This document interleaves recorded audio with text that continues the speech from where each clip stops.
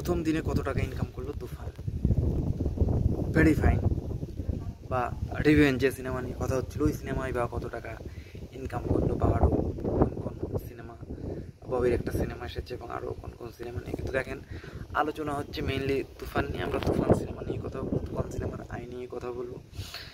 এবং বিভিন্ন লোকে বিভিন্ন জায়গায় কিন্তু বিভিন্ন রকমের স্টেটমেন্ট দিচ্ছে হ্যাঁ তুফান এত কোটি, তুফান এত কোটি, হ্যান ত্যান।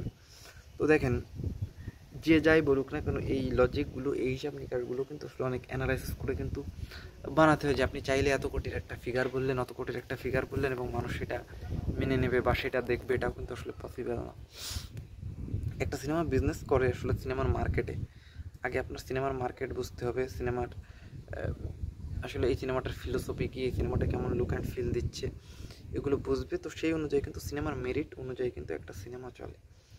এবং তুফান সিনেমার মেরিট অনুযায়ী আপনি যদি আমাকে বলেন যে তুফান সিনেমা আসলে কেমন, তো এটার মেরিট অনুযায়ী আমি বলব Toofan is very top notch and very very very মানে একটা বড় বাজেটের একটা খুব বড় একটা সিনেমা এবং এটার কালেকশন যদি আপনি বলেন যে প্রথম দিনে কত, আমি বলব approximate one point five crore থেকে ওয়ান পয়েন্ট এইট কোর এক কোটি ষাট লাখ টাকার মতো কিন্তু এটা প্রথম দিনে ধরা হচ্ছে এবং অনেক জায়গায় হিসাবে আমরা দেখছি দুই কোটিও আসছে। আমরা যখন ফাইনাল রিপোর্ট যখন আমরা যে তুফানের টোটাল আয় কত, তখন কিন্তু আমরা এটা কিন্তু বলব হ্যাঁ?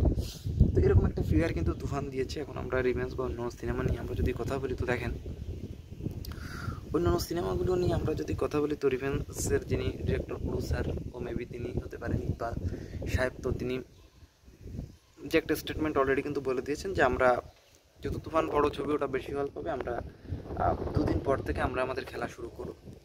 সেটা হল দিয়ে হোক বা তাদের সিনেমার মেরিট অনুযায়ী হোক বা যেভাবে হোক তারা আসলে দুদিন পর থেকে তাদের মেইন খেলাটা তারা শুরু করবে। এখন থেকে তারা হয়তো খেলাটা শুরু করতে চাচ্ছে এবং কী খেলা শুরু করবে সেটা তখন দেখা যাবে। এবং এইসব সিনেমার আসলে কালেকশন লো এবং এই কারণে কিন্তু আমরা আসলে এটার অথেন্টিক এখনও জানি না